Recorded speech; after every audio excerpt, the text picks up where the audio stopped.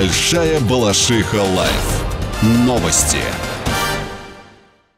Круглые столы на важнейшие для жителей города темы продолжаются. На этот раз пришла очередь здравоохранения. Понижение уровня смертности, повышение уровня рождаемости и улучшение здоровья жителей в целом станут основными темами обсуждений. В Балашихе появится Центр здоровья семьи и Центр мужского здоровья.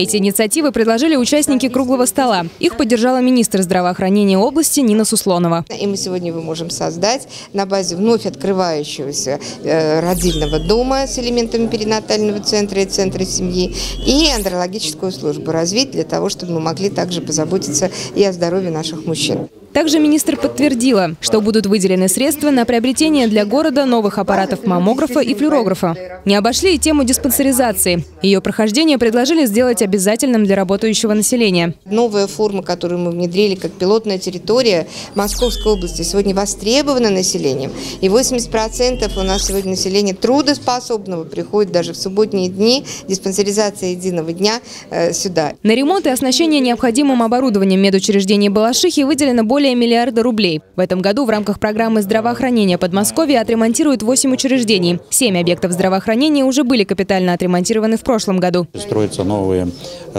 поликлиники, как э, на э, авиаторов, медицинский центр, как на Гагарина, э, поликлиника на 600 посещений в смену. На следующий год будет строиться Э, новая поликлиника уже в Заре, в нашем эм, э, военном городке, который на протяжении 20 лет был э, обособленный, и там, конечно, никто ничем не занимался, в том числе и здравоохранением.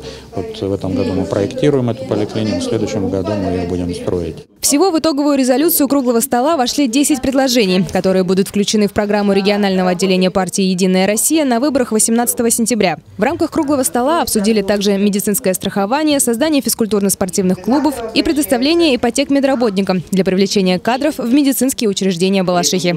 Алина Файзулдаева, Алексей Суров, Большая Балашиха Лайф.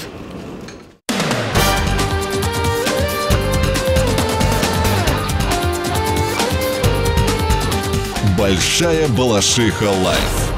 Новости.